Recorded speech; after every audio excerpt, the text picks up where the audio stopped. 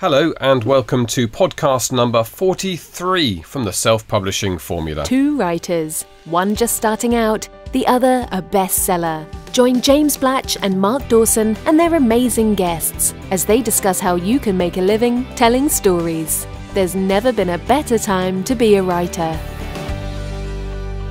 Well, Mark, this time last week we were in our nice little cubbyhole that we found in um, Bloomsbury. Look at us on our Apple Watches.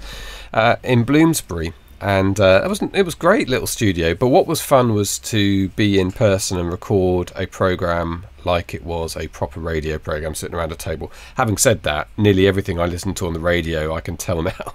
You know, the BBC often in Manchester and the guests in London and so on. So everyone records like this, but um, we live remote digital lives, and uh, this is normally how we connect. But I thought it was fun last week, and we got some good feedback, didn't we, on on that? We did. It was fun. It was good to. Um uh, do it all together. And most of the feedback was kind of divided into two camps. Some people wanted more John Dyer, other people wanted less John Dyer. So yeah, we'll have to sit down and work out how that breaks down, whether it's going to be uh, more John or less John. Well, Mrs. Dyer wanted more John, and everybody else wanted she, less. That's pretty much how it broke down. And actually, she was only being polite. She told me afterwards, but um, no, it's fun. In fact, John and I will do. I think we'll do a podcast interview soon on some of the technical aspects of putting together your website. Uh, we've learned mm-hmm. quite a lot as we put together the 101 course, and as people feedback on what they're struggling with and the bits they don't understand, it's uh, given some ideas for a really good detailed podcast for people who are struggling on what your author page should look like and the best ways to approach putting it together. So that we'll do that. Uh, John and I will sit down and do that shortly and that will be out in the next few weeks. Um, in fact, we've got loads of good interviews in the can. We we plotted them out. In fact, I've got I've got in a, in a very meta way. I've got my whiteboard and I've got a photograph of your whiteboard underneath my whiteboard with stuff. but uh, you've plotted out. Um, the podcast and how it's going to run probably until about March 2017. So um, we've got lots in the end bag. of March yeah, and I've got a couple I'm um, kind of waiting to hear back from, um, which might, we might slot in there as well in terms of New Year stuff. So some quite good, in fact, some very good interviews to be um, to be heard later as we press on into the new year. Yeah, good. Look, today's interview is legal and it's an area that uh, you know there's so much you've got to to understand and learn about. And we often say that when you're an independent publisher you've got to think about yourself as being a mini publishing company. So you think about the marketing you think about um, you know the sales so you think about the packaging and everything else as well as writing the book which isn't a big deal for somebody. Um, but what else does a company do? Well it does its account so you've got to do that. And it also does legal publishing houses will have a legal department that have in-house lawyers, or if they're small, they might use uh, an external service. So we also need to think about that now. We don't want to uh, alarm anybody, and I think we'll, I'll talk to Mark, who's obviously a trained lawyer, after this about what how this relates to us uh, realistically.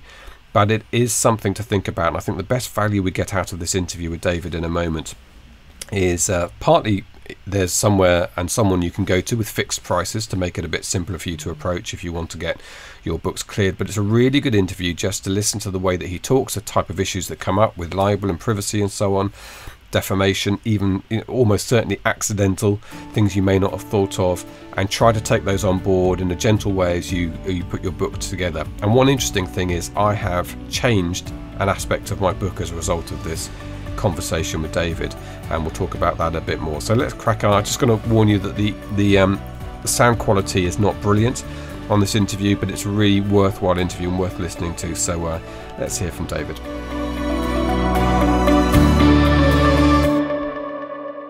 I am a solicitor that started out doing a lot of work for celebrities, suing newspapers and magazines and radio shows and television companies and that sort of thing.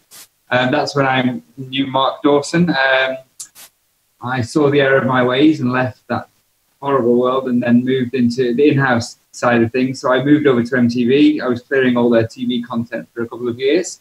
And then I went to work for a magazine company uh, called the Hearst Corporation. And I was uh, the lawyer there, one of the, one of the in-house team there, clearing all their content for them.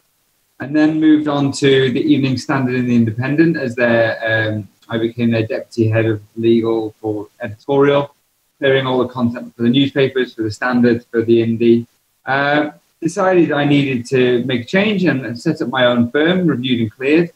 uh, I wanted to bring the in-house legal skills or in-house legal um, advice to people who couldn't necessarily afford big lawyers. So I decided to set up reviewed and cleared with uh, lawyers who've been doing it for years and lawyers who love clearing content for people and love working with journalists and creatives and that sort of thing, but provide it at a rate that people could afford. That uh, try to create a law firm where people weren't scared to go to law firms. Uh, you know, I, I, I know that big law firms can be terrifying. So I thought what, what I'll try and do is create this small, small firm that will enable people to get legally cleared, not worry about the legal side of things, and do it on a fixed fee so that they can just get their budget sorted and then go off and do what they need to do without worrying about it. Okay, I mean, it, obviously it's a it's a great idea because I suppose two things occur to people when we think of the legal side of things, and one is complexity, and the other one is expense. It was always expense first for me. Yeah, I always, I always, I always appreciated how expensive lawyers are. Yeah, and I, I, guess it's not top of most people's list when they're setting out on their author career or uh, probably any other career in the media is, is to prioritize that money that they're going to feed into the legal side of it. But no. we should probably start by explaining why it's important and what it is, what that area is, and how it can unhinge you if you're not careful. Yes, I mean, if, if everybody's honest, the, the lawyers always follow the money. It, it, it's when you start to have a little bit of success that you start to find that not necessarily the lawyers will be there, but people will be there who will start saying, "Well, I created that. That you know, I, I, that you've stolen that from me. I can't believe you said this about me. I can't believe you said this about my family." It's it's only when you start when you're starting out, you just don't think about these things because your readership or your viewership aren't big enough to really cause ruckus outside your small circle of friends or colleagues it's when the success starts to come that people crawl out of the woodwork and they start to think that they want a lot of it may be money, a lot of it may be that they genuinely think that their reputation's damaged or their things have been stolen. Uh, and what we try to do is head that off. Uh, we work with clients. You know, I haven't met anybody who's writing a book who doesn't believe in it, who doesn't think this is what this is going to be amazing. Some are, some aren't but it's better that you're at the beginning dealing with it and, and dealing with it for, for, relatively inexpensive compared to when it blows up and blows up financially and legally. That's where I tend to see more of the problems where people, and I totally understand it, where people say, "Oh, you know, i will be fine. It's fine. I'm sure it's fine," and then it turns out it's not fine. That's where the problems start to arise. Can you can you be specific about the yeah. types of things that are going to get people into trouble? I mean, the thing, the things I see that they t- tend to come up more often than not a defamation, where you're talking about somebody uh, who is a real person or you're creating a character that's sufficiently close to a real person. It's a little bit more difficult in the UK. I mean, the defamation laws are a lot more strict in the UK than in the US. I'm, I'm US qualified as well, and frankly, you can get away with a lot more in the US if you're talking about public figures. But defamation tends to be when you're lowering someone's reputation by making statements about them and it can be in the most inadvertent ways, uh, in ways that you would never imagine. I remember dealing with one man who made rope mats, and he decided he'd sue one of the magazines I was working on because we'd suggested he used a different type of glue than he did. And to us, it didn't seem like important, but to him and in his sphere, it was important. So these little things that you say about people or places or companies or family members or anything like that can come up and bite you if it's if you can't prove it's true and if, if they feel it's defamatory. Then you've got the privacy angle of things where you know everybody takes everyone takes inspiration from all around them. If your auntie Mabel's got cancer, that's her business. Sometimes people will think, well, Auntie Mabel's happy to talk about cancer, so I'll use Auntie Mabel. I'll use Auntie Mabel as, as a character or as a, a, a starting point or as a discussion point then Auntie Mabel realizes she doesn't want the entire world knowing about her cancer struggles. Auntie Mabel suddenly has a, a, a, privacy claim against you and your publisher and any and, and anybody along the publication chain. And just on the US UK point of view, so for a US author, of course, their book may well be being retailed, well, they may well be selling it on Amazon.co.uk, for instance, if they're self publishing. So does that bring them within the remit of the UK defamation laws? Yeah, I mean, the UK was traditionally known as a sort of um, where everybody came for their libel tourism. If you were being defamed anywhere in the world, you'd come to the UK courts and, and sue you there, sue there because it's the, the burden of proof in the UK is different to the UK in that if I, as a publisher, make a statement, it's down to me to prove that it's true. Whereas in the US, I don't need to prove it's true. I just need to show that I had a reasonable belief that it was true. And so, yes, people would come to the UK and use the UK as a libel tourism hotspot. The, the courts have tried to change that, but it's still quite easy to show that you have a, you know, we live in a very international community. It's very easy to show if you have a reputation in the UK, that reputation can be damaged. It, it doesn't take very much. I mean, there's a couple of trials going through at the moment where a man's trying to prove that he had a reputation in the UK. He shows that a few hundred people knew him, and, he, and he's doing quite well to show that that damage is occurring. Yeah. Okay. So, in terms of preventative measures, before we get to um, to uh, the legal services side of things. So when people are just sitting there writing their book at this stage, yes. I mean, every book is inspired by something. I mean, some people are writing obviously epic fantasies and stuff that might be quite far removed, but even that will have some inspiration from the real world. My book certainly is inspired by my father's career in the 1960s. So what steps should I be taking? Should people be taking? What I'd be thinking about is, is whether it's you or or a friend, I'd take a look and read it with a new eye. This is what I mean. This is how I clear. You take it with a new eye and you read it and you think about how the person sitting on the bus next to you would be reading it. How they, how they would think what they would think of your father, your father's colleagues. Are they identifiable? Would I be able to figure out? Say, for example, your, your father worked for a famous shop. I don't know, Marks and Spencers, and he was on the board during a certain amount of time, and you said my father always told me that everyone on that board was corrupt down to the, their very their very being. Now you don't name any of those people, but it wouldn't take me very long to find out who that board that board those board members were within within a certain space of years. And those board members could also argue we were all identifiable. Uh, I'm people are quite egocentric, so they would all say everybody knew I was on the board between 1966 and 1970 at Marks and Spencers, and now everybody thinks I'm corrupt because of this book. You need to start to look at these things and think, whose lives am I touching here? What facts am I stating here? Can I back up these facts? Are they family myths or are they are they something I can show? Are they are they rumors? If they're rumors, is it something I can prove? Is it something that I've shown out? Will those people be affected? Will their circle of friends and their wider circle of friends understand who they are and believe the things I'm saying? And that's that that's from the defamation point of view. Then you need to think about privacy again, identification is a real key point. You think, would the man on the bus next to me be able to figure out who I'm talking about? If he can figure out who I'm talking about, is this information intrinsically private? Does does the person I'm talking about have a reasonable expectation that this information should remain private?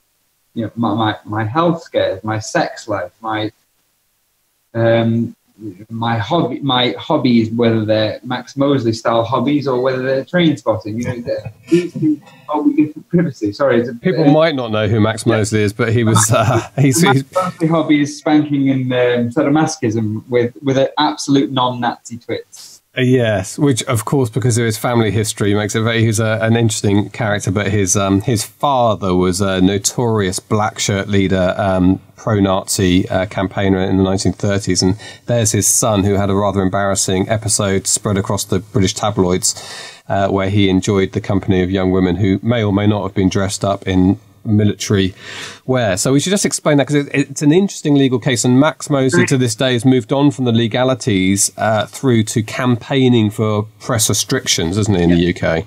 Well, Max Mosley is the ideal case for sort of looking at how privacy can touch us, really.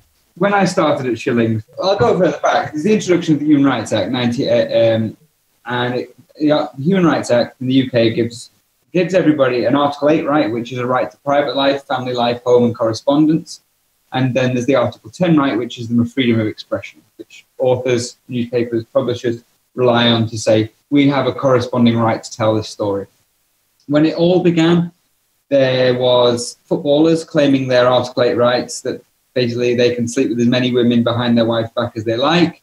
And the women were saying, I want the right to be able to tell how good this footballer was in bed when it first began, the women's Article 10 rights always seemed to trump the Article 8 rights of the footballers. Now, over time, over the course of 15, 15 years, it's gone completely the other way to Mosley now. Whereas, thanks to Mosley, if you're having sadomastic, sadomasochistic, sadomasochistic, sex with sex workers behind your wife's back for many, many years. Dress up, non dress up, we can leave it there. That's all private information. You are entitled to private life as long as there, there's only two ways in which the press can, can sort of delve into people's private life. And this is what I deal with on a daily basis for the magazines I work for. So you have to show that somebody's either a hypocrite or that they there is a public interest that we all should know about their their private life. Um, Lord Coke is is a quite interesting one. That's, uh, his nickname. He was the Lord who was uh, in charge of the the House of Lords uh, Standards Committee. He liked to use his House of Lords money to go off and um, sleep with prostitutes and take coke, hence the name. Now he he was interesting because he was a hypocrite because he was in charge of the Standards Committee but it was also public interest because a man in charge of the, our Parliament Standards Committee really should we should we should know whether he's having sex with prostitutes and snorting coke in their bras. He was the perfect embodiment of those two things. Now that's what the whole Mosley case was about, with people arguing whether the public had a right to know that he was doing this and whether he was a hypocrite. The public had a right to know argument the newspaper ran was that um, he was the head of a national, international organization, the F, is it the FIA, the, the motor racing? Yeah.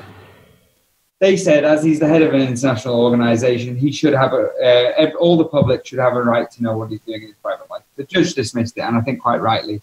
You know, every every company around the world has public money running through it at some point. Um, I have no right to know what the head of Marks and Spencer is doing. Okay. The interesting argument was whether he was a hypocrite or not. As you mentioned, his father was a, a black shirt and a, a fascist. Max Mosley had always said, I have no truck with my father's political views. I have no care for fascism. I certainly want to disassociate myself from it in, in any way.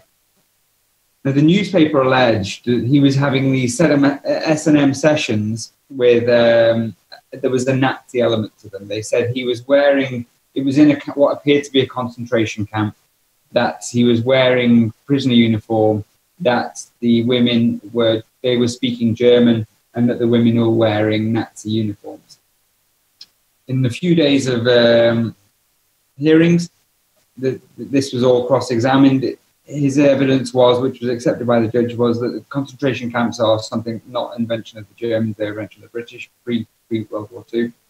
The pajamas, the prison uniform he's wearing had arrows on, not striped, as in the concentration camps in, that, in Nazi Germany. Uh, the German is a very good language for S&M because of its harsh nature, and that the women brought their own uniforms and they had no Nazi insignia on them. There's a well thought through series of defenders, uh, defences. Yeah, uh, and sort of, if you sit down and think about it, quite logical as well. Yeah all reasonable things that can. Well, I've, I've never been involved in that world, no. but I can imagine they're all reasonable things that. Well, sa- sadly, he's, he's right about the concentration camps because I know from history that they were started by the British in the South African campaigns. Yes. Oh, so yeah. Um, yeah. So they they've done their history. Okay, so I tell you what's what's striking me already is it, we talked about the complexity, and in my day as a journalist, there wasn't a lot of talk about privacy. So we had the libel laws drummed into us, and probably fifty percent of all the journalistic training I ever had was just legal, and I can probably still dredge up the five main defences of libel. But what you've got here, so you may in your book have identified somebody even by implication because they were in that position on the board or whatever at that time. But you then think, well, okay, I've said nothing libelous about them. I haven't, you know, they're a, they're a character here. They they act quite honourably. In fact, they come out to be the hero. But yeah. what you're saying is there's another element here, which is actually people might think that's how they behaved, and that's a privacy issue, which I'm not as familiar with. But this is obviously quite an important area. Well, you can also, with the defamation, going back to that, you can write something and, and imagine that why would they be upset about it? But that upset can appear from nowhere, like the chap with the rope mat. Um, I cleared a book about a guy, it, and the book was about something completely different. It was about a, a, Warcraft game.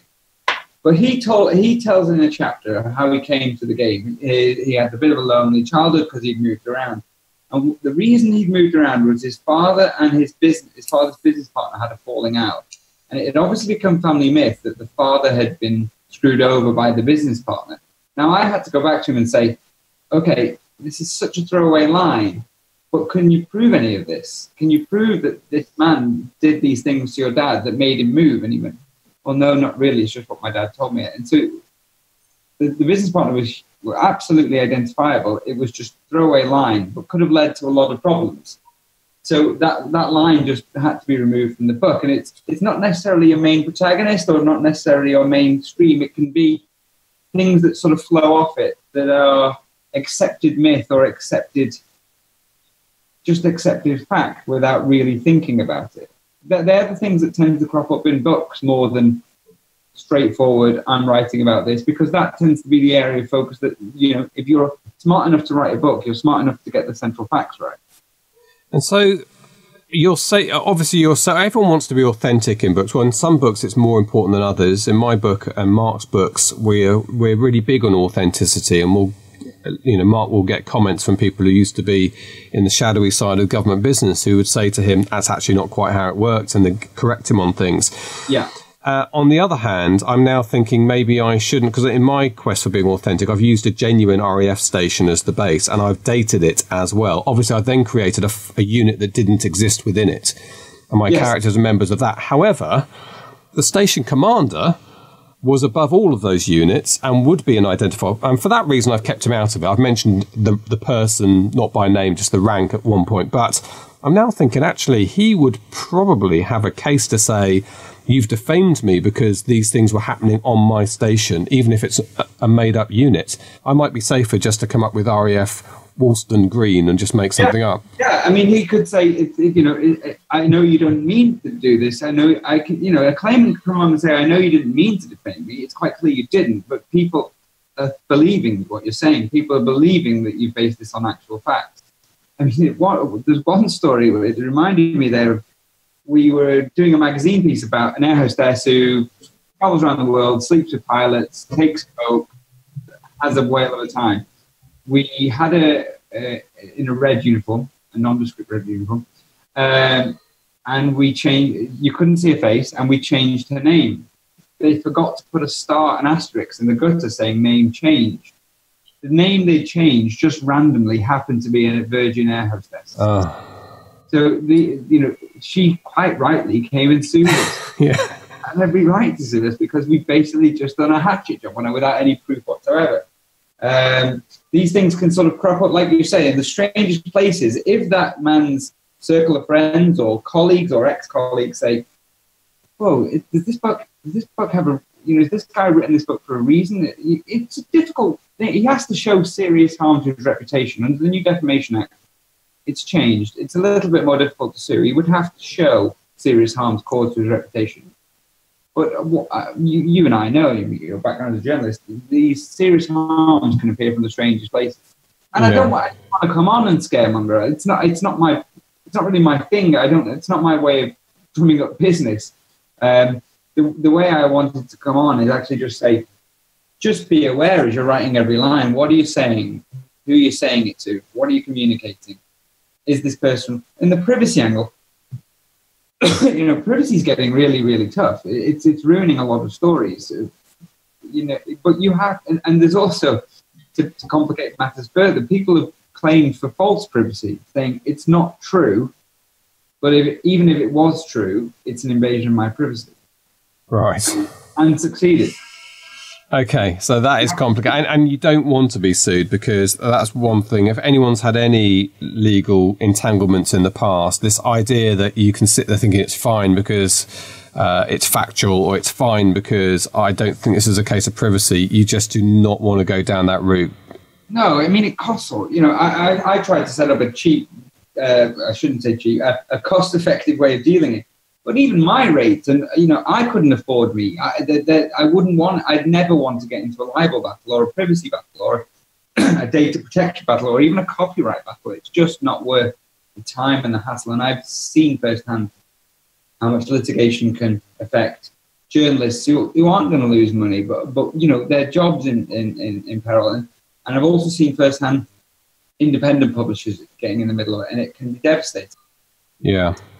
So so legal advice, obviously, uh, as you say, is is tends to be out of reach. We were lucky when I worked at the BBC. We had a team of very good lawyers. There was always somebody um, uh, on hand, and any time of night or day, you'd, you'd make the phone call. They'd usually then, you'd in those days, hold the phone next to a speaker so they could listen to the script and the clips. Yeah. You'd get a bit of advice, and some of them would get with some of them we knew were quite gung ho about it. They'd talk to you a bit about your source and so on, and then say go with it. And the only thing thing that mattered from my point of view as a journalist is that I took their advice.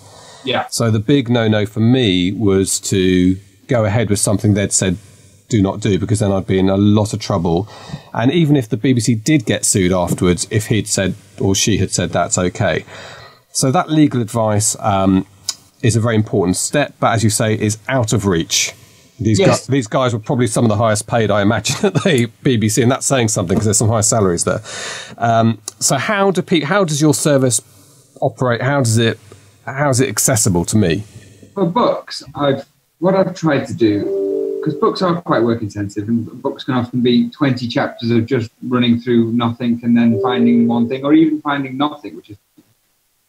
But I've tried to do a fixed price service. I, I, the thought of lawyers being on an hourly rate is awful. Uh, and when I was an in-house counsel, I would never have a lawyer on an hourly rate because, frankly, it's human nature just to, to push it and, and take the Mickey. What I do is I agree a fixed fee, and I, I'm quite open to negotiation based on lengths. And what I often do is have a discussion with the author about the book and and I will be able to give an idea after a 20 minute discussion, which isn't charged. Nothing, nothing's charged until we've agreed a fee. Um, if it's quite clear, and I do this with TV programs as well, if it's quite clear that there's not going to be any problems, they get a nice reduced rate. If it's quite clear there's going to be problems, the author knows that anyway. So we come up with a with an, uh, an increased fixed fee rate, but I, but I always agree fixed fee. Sometimes I'll take a hit on it if a book I thought was going to be easy suddenly turns into a nightmare, and it's happened. Sometimes it'll be all right when. Sometimes I'll make a bit of money when the book isn't as bad as the author and I thought it was. Um, yeah, that's how I've tried to change the legal landscape. There is to give independent publishers the opportunity. It's still a but it's still a budget. You know, it's still a reasonably big line on their budget. I can't deny that. But can, can you give us an indication? I mean, I know it's going to vary. I mean, uh, yeah, anything between. Uh, I've done my books tend to be anything between twelve hundred quid and two two thousand two hundred quid. Okay. Um, I, I've said to I through speaking with you, and I said to Mark, you know, I'm happy. Anybody who comes through this, I'm happy to offer discount to. Um, I, I get that it's still a reasonable chunk of money, um, and I wouldn't say everybody should do it. What I'd say is, if you've got concerns, it might be a good idea to do it. Yeah, and I think that's probably where most people will be in that if they think their book's benign and they've published three before, they're not going to come to you. But the book where they think there might be an issue, um, although I have to say we're getting value out of this podcast because it's already given me some steers, and I am serious about that. I think I am going to rename this the RAF station to something fictitious. It's just too risky to go ahead, and the story ultimately is about corruption. Well, um, right. All it takes is one guy at the, they meet up once a year at their club and they say to him, "Oh, I read this book about your your base, and I tell yeah. you what, pretty close to the bone." And that's all it takes for a claimant who probably has deep pockets to get a bee in his bonnet, tootle off to Schillings or to Carter-Ruck or whatever, uh, yeah. and writing very very scary letters. Uh, the other the other defence of libel I always remember is that um, the person's dead so that's the yeah. other thing to, to look into because you can't libel the dead. That's not changed, right? No, I mean, it's the one time I've seen completely disgusting human being when I say, Are they alive? People say no, and I go, Great. Well, You've got no problem.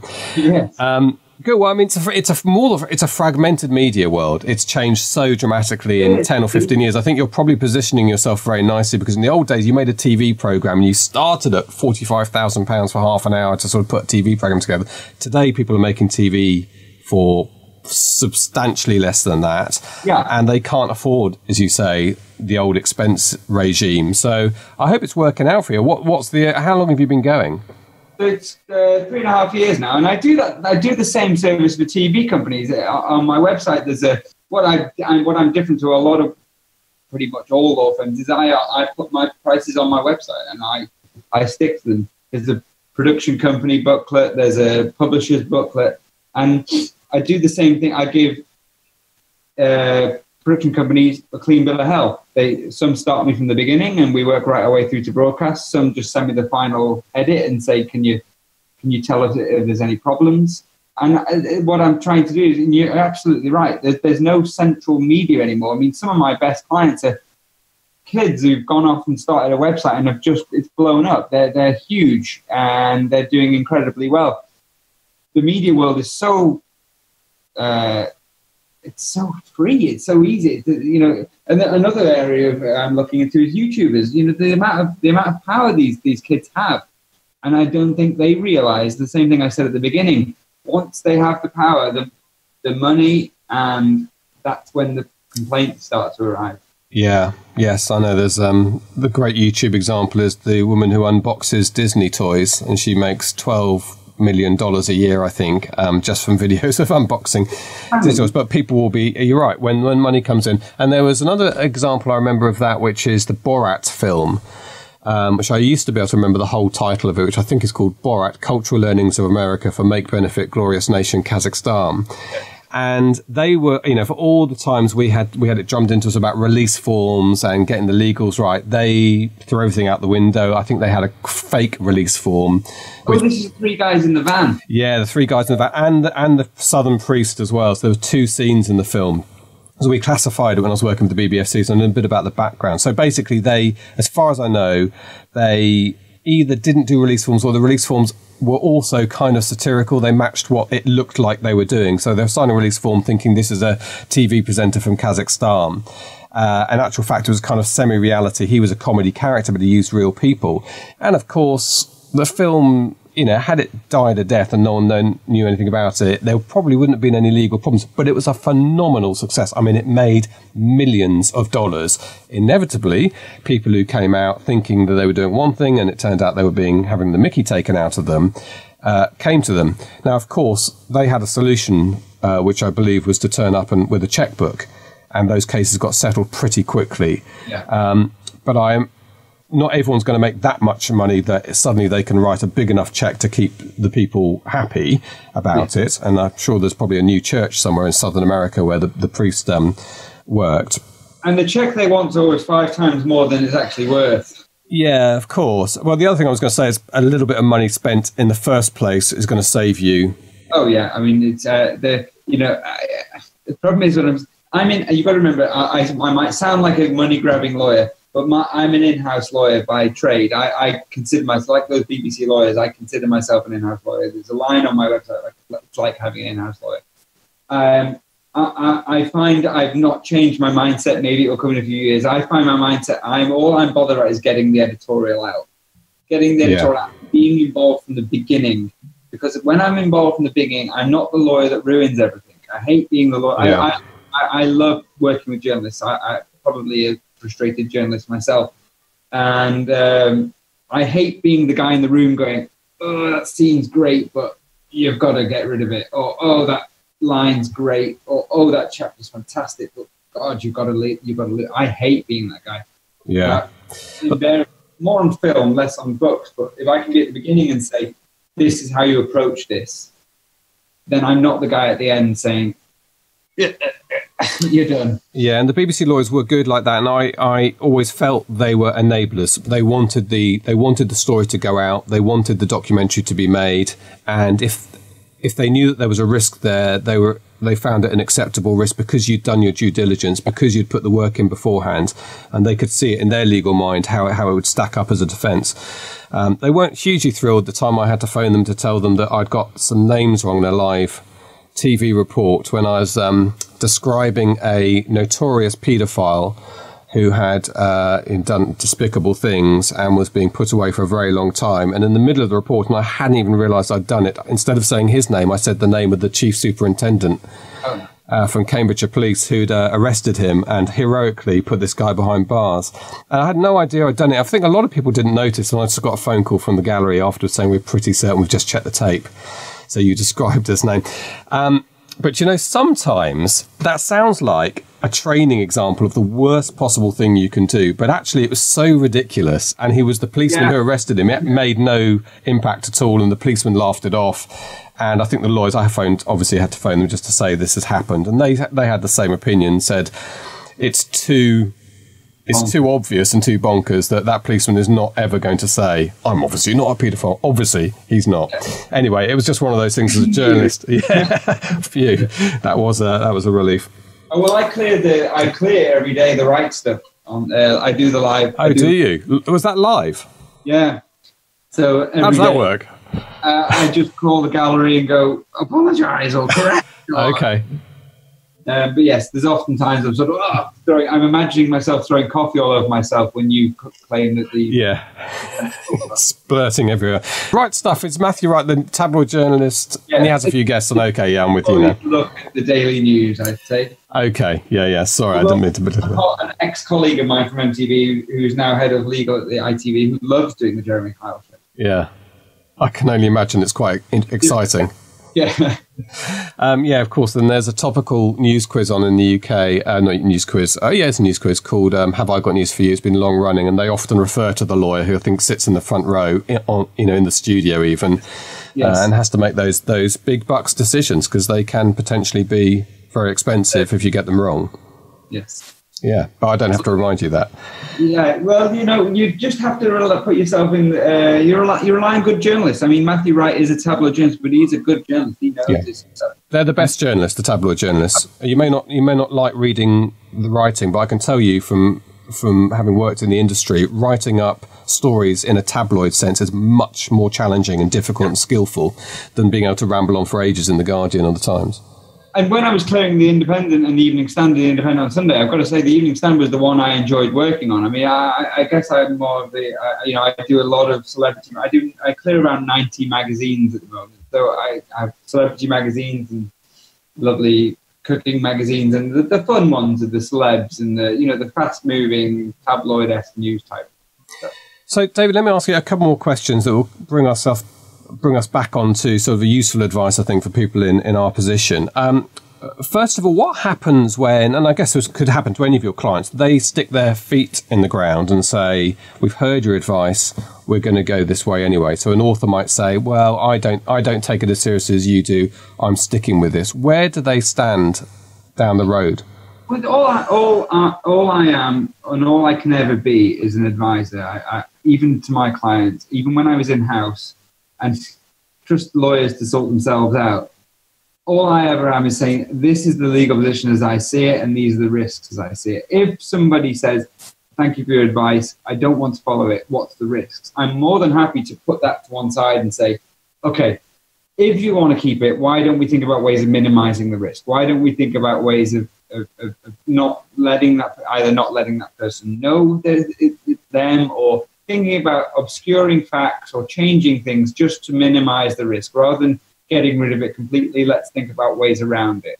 And this is what I was saying. You know, I, I want. I'd rather be a lawyer. Every lawyer could be a blank page lawyer. There's no legal risk in a blank page.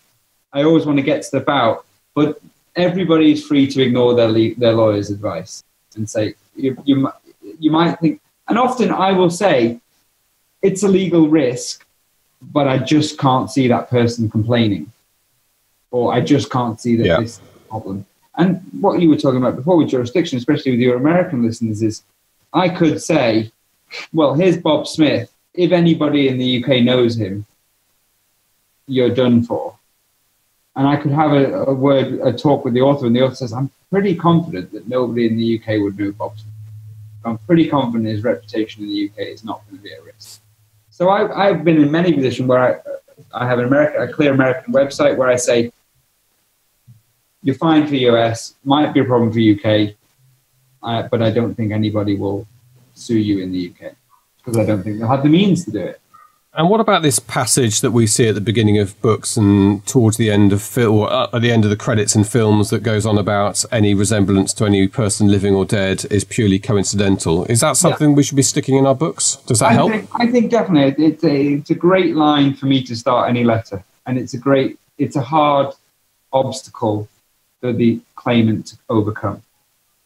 And there's a specific form of words we need to be using. I, don't, I mean, I, I use I, I, use maybe two or three versions of it, but you know what? As long as the reader understands the what you're trying to put across, uh, you won't be caught out by missing certain words or anything like that. Yeah. What conveying to the to the reader is that don't believe any of this is, is true.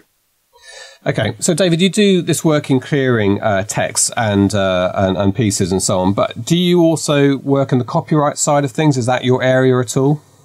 I, see, I've never been a, a, a, private practice copyright lawyer, but I understand. I mean, I, I do advise on copyright I, I, advise what, what would be and trademarks. You know, what would be a risk where you where and what I'm very good at is finding is spotting where complaints will come and advising on the overarching defenses you would have if you want to use it. And the new quotation defense is great.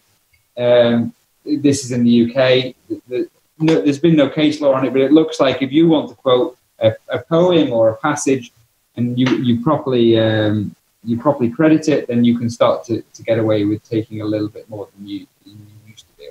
Okay, so you can quote, for instance, if you want to use some song lyrics uh, to set the tone or mood in your novel. Uh, in the past, you might have had to reach out to Chrysalis or somebody for permission. Do you think now there's some scope for quoting it? Yeah, I'd say the the the prospects are looking good. Uh, there's been, like I said, there's been no case law for me to say definitively, but I, I, think a lot of people. I know I have written back to quite a few people and said, "Sorry, this is a this is clearly a quotation," and, and not heard anything. Yeah, and I think for most authors, when it comes to copyright, it's probably the other way around, where they're concerned, particularly in this electronic ebook uh, world, they're concerned about their books appearing, and most successful authors even moderately successful authors authors are finding their books for sale on sites um, yeah, yeah. Uh, which are not owned by them. Yes, I mean the, the, there is a. It's not a service I actually provide, which maybe I should be thinking about it. But you know, there there are organisations that will. In fact, the law firm that part owned me, Wiggin, they um, ha- they also part own a company called IncoPro that, that, that sweeps the web looking for copyright material and automatically start proceedings against people. Yeah, that's good. And I think somebody's brought that up in our Facebook group recently. recently. It sounds like the same service. So we'll check that for our discussion uh, with Mark after this interview and try and make sure people have got that link. Uh, and there's also there's a fairly straightforward takedown notice um, oh, which which you can send. Yeah, That I can give them that. That, that I've got a blank. You know, it, it, it invariably works. The, the copyright, the notice and takedown actually works quite a lot once people know you, you've spotted it and you're onto it. But you know, having worked Hearst with Cosmopolitan brands like Cosmopolitan, you, are like this, just filling yeah another one sprouts up every time you put your finger in it. Yeah, yeah. It's the, it's the Wild West, and unfortunately, and I'm talking to you about loving working with journalists. What I'm seeing is young young kids coming into journalism where there's no scope to train them anymore. There's no money to train them anymore, and the the concept of rights, intellectual property rights, is so far skewed to what you and I would imagine is the norm. They they just have no concept of copyright of ownership. Oh. They, they really, you know, somebody called Google Images a free Getty last week to me. Right. And, and that really sums up exactly what where they're coming from. Yeah, that is a worry, and I think I think it's more important now than ever before for people to respect and understand IP. And it used to be, you're right, it used to be something that had nothing to do with us. It was companies dealt with it, and we were at the. You know, it's very unlikely. But this day and age, where everybody's doing a blog, everyone's making videos, everyone's doing podcasts, having respect for somebody else's IP, which is their living, yes. should be should be something that's um, uh, worked on. I think. Well, yeah. I can see that you're going to be doing that. Well, David, it's been fantastic talking to you. It's been, I mean, um, obviously it's a really interesting area. I think you and I could probably anorak about this for yeah, yeah hours. Once you get started. Yeah, but I've certainly, as an author, I have certainly had the cogs turning in my head, and I'm thinking about my text uh, with a quasi-legal brain now, um, and that's been incredibly useful for me, and I hope it has for other listeners as well. Yeah, I mean, what I'd say is don't you know, don't necessarily go off and spend money on a lawyer. Just take a moment to sit down and not be you, not be the writer. Just try and be a quasi lawyer and say, "Am I affecting anyone's life with this here?" Yeah. it's quite interesting. Uh, you, I mean, what I often do is write down the allegations that are being made and think about them in, in their uh, uh, standing alone, rather than the problem when you're writing is you're going, I made an allegation here, but that's fine because I'm thinking about this, and that's fine because he did that. And sometimes it's a good idea just to take yourself out of that and write down what you're actually saying. Context. Yeah. Yeah. David, just give us a, a recap of the website where people can find you. Oh, I'm um, www.reviewedandcleared.com. Reviewed and cleared. That's what you want to hear. Yes. Hey, well, it was the, I, I, you know, I took that from an old client um, clearance system. So it was either reviewed and cleared or reviewed and commented, and I thought maybe reviewed and commented didn't give the right Yeah, better than reviewed and rejected. Yeah.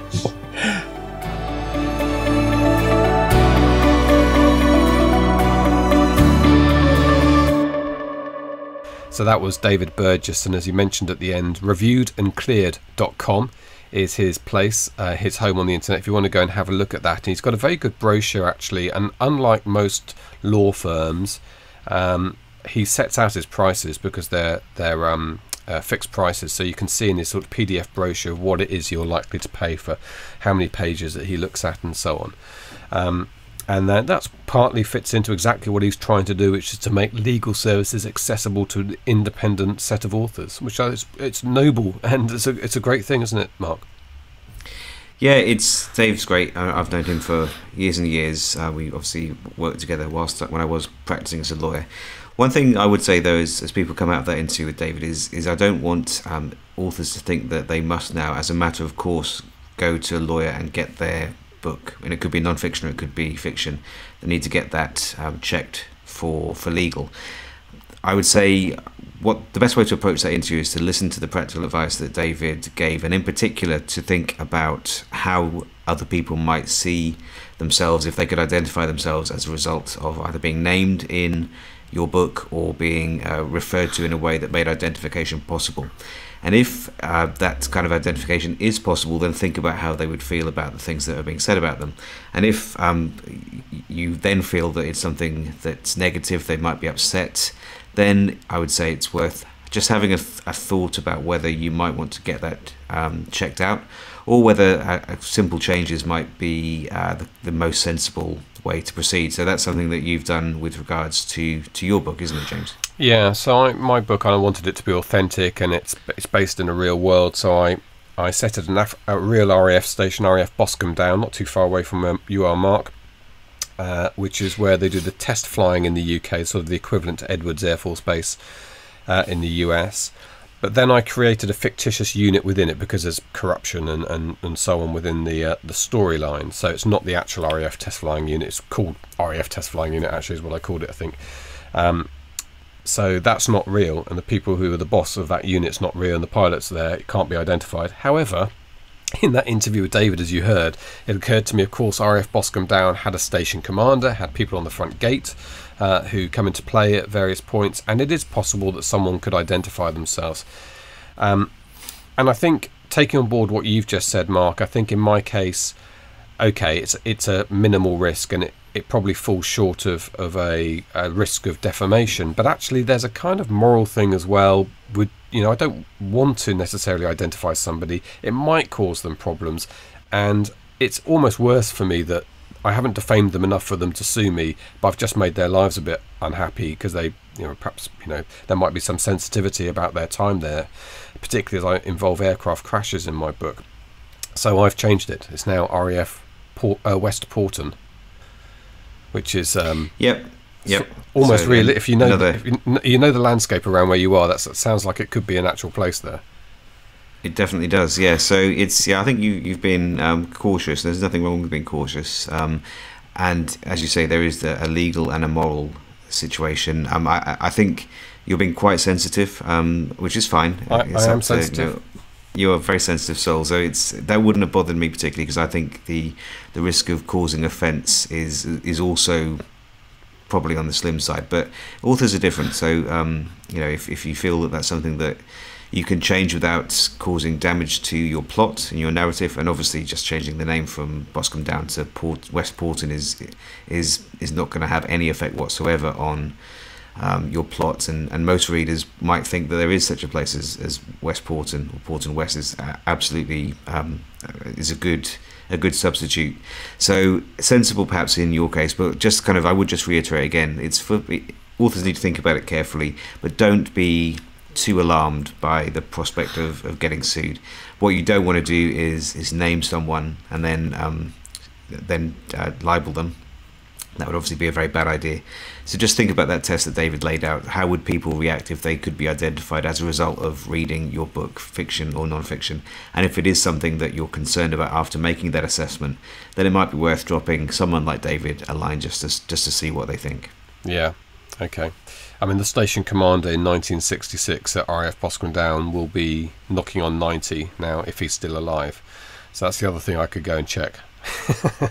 Which yes, and uh, and of course the dead can't see, so no. there's um, there's that as well. That is one of the defences of libel.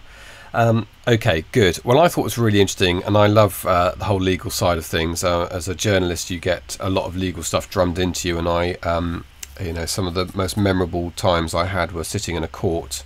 Uh, listening to legal debate, uh, particularly the moment of a verdict, and ine- inevitably, if I was there, it's obviously it was a fairly big, uh, high-profile court case. Um, and people's lives change on, on the whim of a jury. Um, oh, I could tell you some stories about juries, but uh, that would be illegal.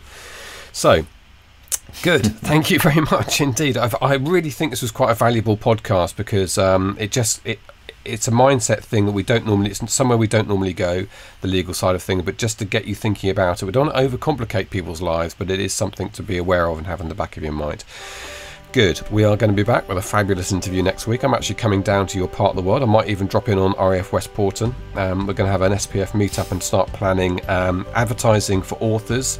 Our next course launch, which will be next year, so uh, only a brief respite for us. And we may even get to record the podcast together again. We'll see if we've got time to do that. Good. Exciting times. They are. what a time to be alive. and you say, you literally you say nothing to that. There's no riposte. I'm falling asleep. I'm very you tired. Are. You are. You're barely alive. Thank you for listening. We'll speak to you next week. You've been listening to the Self Publishing Formula podcast. Visit us at selfpublishingformula.com for more information, show notes, and links on today's topics. You can also sign up for our free video series on using Facebook ads to grow your mailing list. If you've enjoyed the show, please consider leaving us a review on iTunes. We'll see you next time.